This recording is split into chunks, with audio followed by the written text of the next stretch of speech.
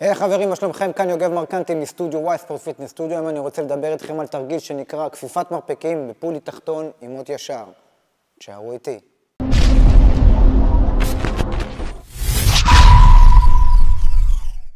אוקיי, אז ככה, כפיפת מרפקים בפולי, יש נטייה גדולה לאנשים להתרחק מהפולי יותר מדי.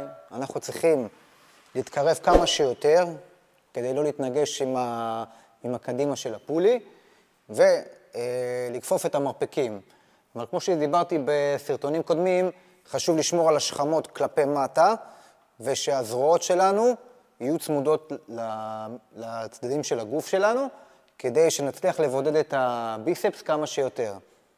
אוקיי, ואנחנו מכופפים את המרפקים עד אה, לגובה מעל הפטמות שלנו בערך, ומורידים. שומרים על גוף ישר, כל הנושא של הכתפיים והשכמות נעולות, ועובדים. זה הפעולה, אין פה יותר מדי מדע, לשמור על העקרונות שדיברתי ולעבוד.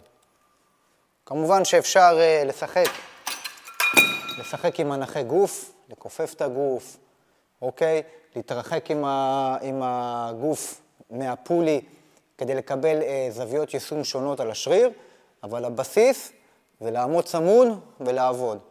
תעבדו תמיד על הבסיס, ואחרי זה לאט לאט תשחקו עם הזוויות, עם הטכניקות, אבל לשמור על שכמות כלפי מטה, זרועות צמודות לגוף, ורק המרפק מכופף את עצמו על ידי השריר הביספס. תודה רבה שצפיתם חברים ונתראה בסרטון הבא. ביי.